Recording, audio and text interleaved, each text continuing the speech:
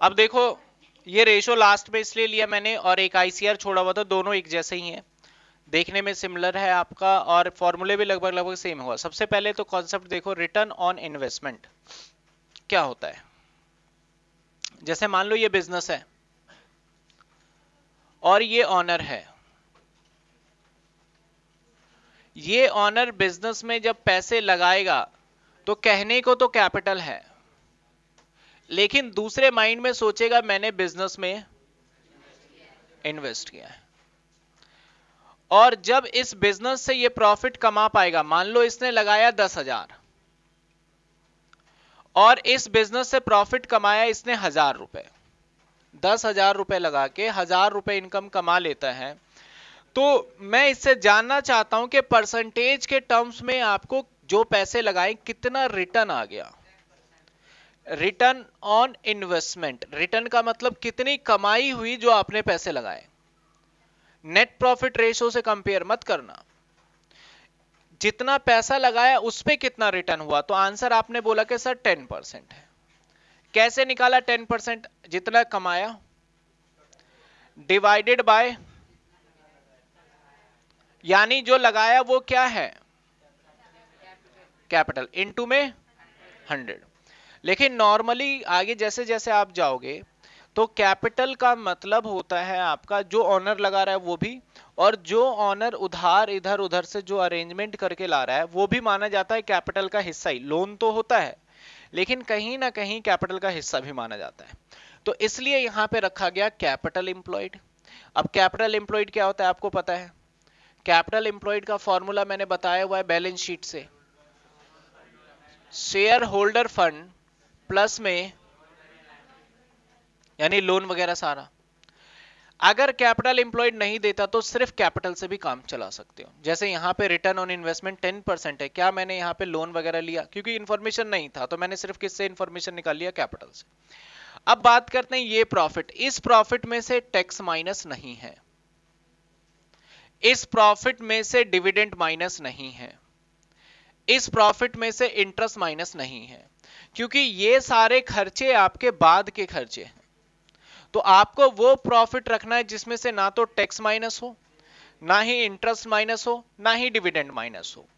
इसको हम और डिटेल में समझते हैं। हमारा सबसे पहले जो प्रॉफिट आता है, जिसमें से टैक्स इंटरेस्ट उसको हम बोलते हैं EBIT earning before interest and tax और इसको मान लो जो भी ईबीआईटी है हम इसमें से पहले माइनस करते हैं इंटरेस्ट इंटरेस्ट को जब माइनस करेंगे तो ये वाला जो प्रॉफिट जनरेट होगा, ये होगा अर्निंग बिफोर अब मान लो मैं आपको ये सौ रुपए दे दू और इंटरेस्ट दस रुपए दे दू। तो हमें जो प्रॉफिट ये वाला प्रॉफिट है ना अल्टीमेटली मैं इसको ई बी आई टी बोलूँगा। ये टी है।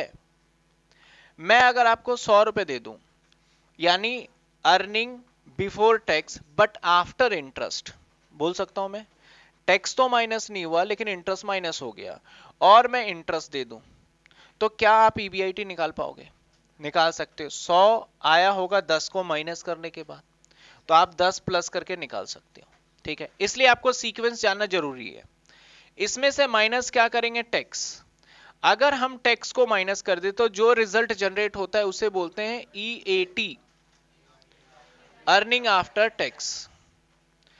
बहुत जगह पीएटी भी बोलते हैं, प्रॉफिट आफ्टर टैक्स। इस पैसे की मैं बात करूँ, ये जो पैसा है, इसमें से फिर माइनस होता है पीडी प्रेफरेंस शेयर का डिविडेंड, जो भी हो एक्स वाई जेड अब इसके बाद जो रिज़ल्ट आता है, उसे बोलते हैं अर्निंग फॉर इक्विटी जो रिज़ल्ट आया।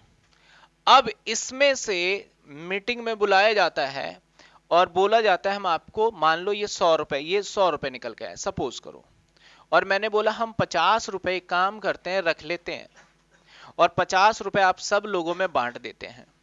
आप सब लोग हो कौन? शेयर होल्डर हो। तो 50 हम रख लेते हैं 50 बांट देते हैं। आपने पूछा 50 क्यों रखोगे? फ्यूचर में न्यू ब्रांच ओपन करना होगा तो उसके लिए हम बचाना चाहते हैं पैसे। और पचास रुपए आपने पैसे इन्वेस्ट किया तो कुछ ना कुछ तो मिलना चाहिए, वो बांट दिया जाएगा आप में।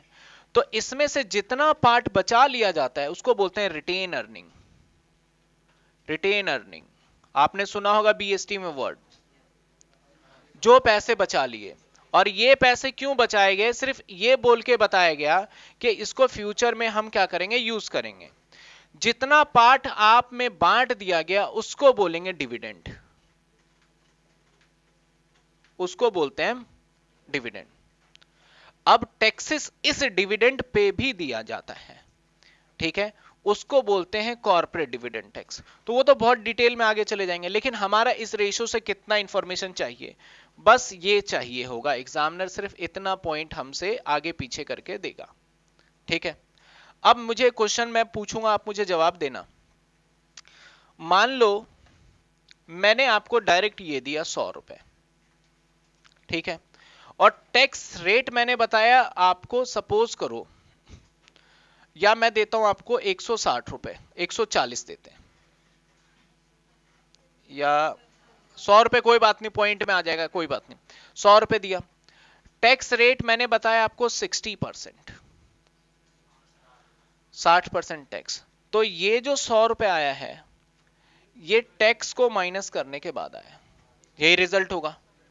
यानी टैक्स को माइनस करने के बाद जब ये रिज़ल्ट जनरेट हुआ तो 60 परसेंट कोई भी अमाउंट रहा होगा यहाँ पे, उसमें से 60 परसेंट माइनस कर दिया होगा। हमें अगर ये पॉइंट देगा एग्जामिनर तो हमें यहाँ पहुँचना है। क्योंकि यही वाला पॉइंट हमारा यहाँ पे यूज़ होगा। है कि नहीं? तो एग्जामिनर कभी भी आपको ये पॉइंट देगा ही नहीं। जब भी देगा, आपको ये देगा ईएटी e देगा। तो अगर एग्जामिनर ने 100 दे दिया और टैक्स का रेट दे दिया तो आपको अच्छे से पता है कि 100 में टैक्स 60 परसेंट माइनस करने के बाद आया है। तो ये इक्वल टू होगा। तो हमें डायरेक्टली यहाँ से इस स्टेज पे कैसे जाना है?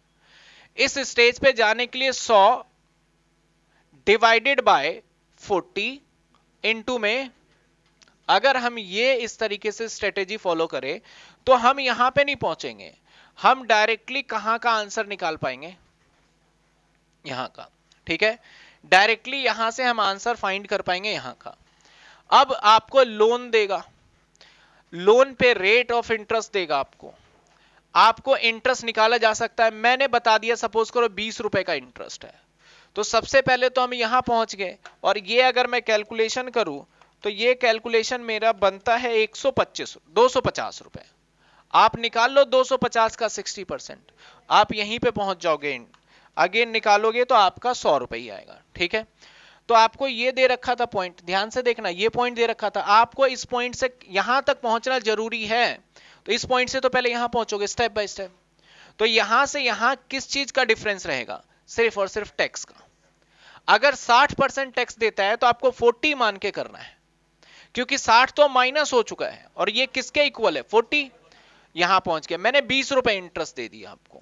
तो ये आ गया, और ये 270 हम क्या करेंगे? यहाँ पे यूज़ कर लेंगे. तो आपको क्या करेगा एग्जामिनर प्रॉफिट आफ्टर टैक्स देगा. जब आपको प्रॉफिट आफ्टर टैक्स बोला है तो बताओ इंटरेस्ट माइनस होगा या नहीं होगा?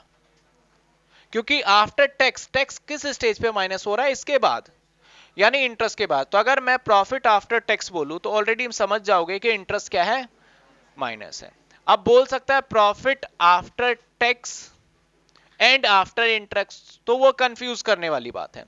बोला जा सकता है profit after interest but before tax profit after interest but before tax बताओ कौन से लेवल का इंफॉर्मेशन दे रहा है? ये दिया गया। सिर्फ़ इंटरेस्ट को ऐड करके ऊपर चले जाओगे। अगर बोलता है profit before interest and tax तो आपको कौन सा इंफॉर्मेशन दे रहा है? सीधा ईबीआईटी e तो आपको क्वेश्चन में हमेशा समझना पड़ेगा कि एग्जामिनर ने दिया क्या है और किस स्टेज पे हमें जाना है। तो अब मैं operating profit profit before interest and tax EBIT का फॉर्मूला लिख देता हूँ। है नहीं कुछ भी ये। नेट प्रॉफिट पी एंडल वाला। या profit after tax PAT plus क्या प्लस करेंगे इसमें हम? जो टैक्स अमाउंट होगा। प्लस क्या करेंगे हम? टैक्स और प्लस कर देंगे इसमें इंटरेस्ट हम पहुँच जाएँगे ईबीआईटी पे। क्लियर है? इसको ईएटी कर देते हैं। यहाँ से समझ में आ जाएगा। ईएटी क्लियर है? कैपिटल एम्प्लॉयड क्या होगा? शेयर होल्डर फंड अब शेयर होल्डर फंड बताओ क्या होता है? Debenture sorry equity share preference share reserve and surplus share warrant जो हेडिंग याद किया था वो है। नॉन करंट लाइबिलिटी भी पता है आपका डिबेंचर ये हम इजीली हम पहले जान चुके अगर ये नहीं पता सिर्फ़ कैपिटल तो कैपिटल यूज़ करके निकाल सकते हो। आपका ये कैसे निकलेगा, ये ये इनफैक्ट आपने बिज़नेस स्टडी में भी एक चैप्टर है, वहाँ पे थोड़ा सा डिस्क्राइब किया हुआ और एग्ज़ाम में भी पूछा जाता है कई बार आपको कैलकुलेट करने को। तो ये निकाला रिटेन अर्निंग क्या होता है पता चला? जो पैसा लास्ट में बचा लेते हैं अपने फ्यूचर